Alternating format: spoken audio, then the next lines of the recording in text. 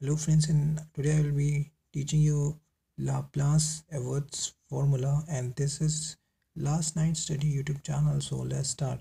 So here have the formula. Formula might seem very complex but the calculation or but the numerical uh, portion is very easy or we can say we can solve it numerically with very ease. So do watch the full video till the end to know how it solves.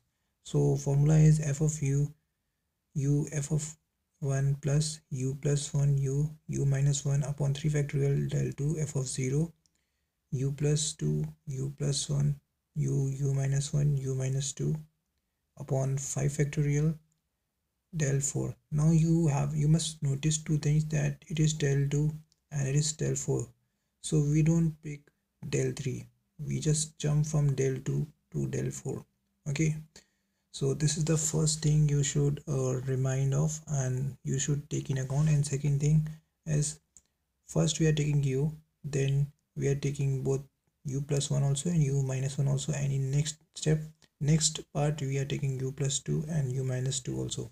So we will add on both side. After this in in this we will do plus. Now here is w you must be used to with the term u in the interpolation method but here you will get a surprise term that is w and you must be confused at what it is w so after completing formula i will tell you.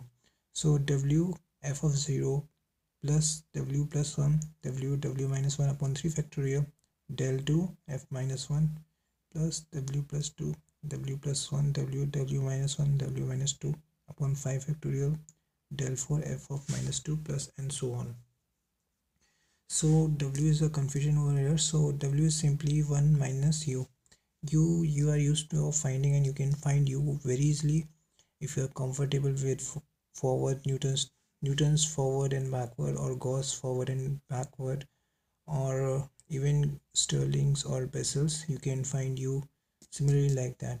Now let's come on numerical part so here I have a numerical using Everett's formula.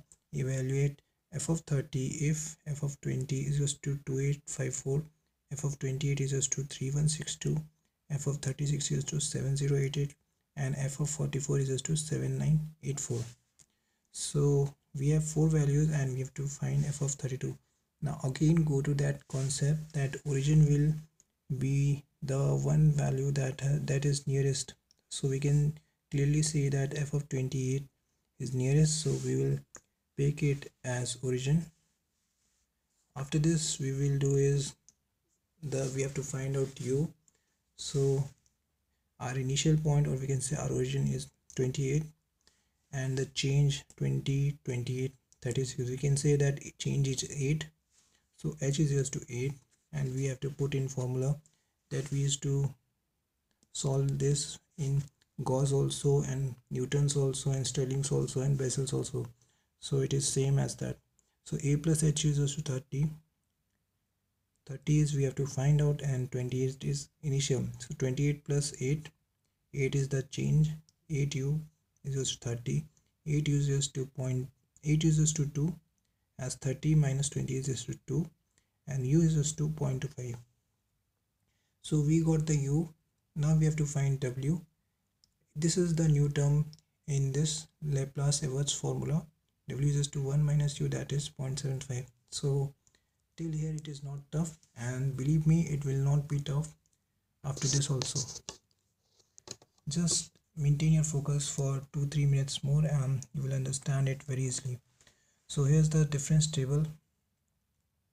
So uh, to calculate the values it's same as we used to do before the origin part 0 above that will be minus 1 below that will be 1 2 and 3 and so on. You have to put equivalent values. With that you can see that I had put the equivalent values with the corresponding elements. You can see that.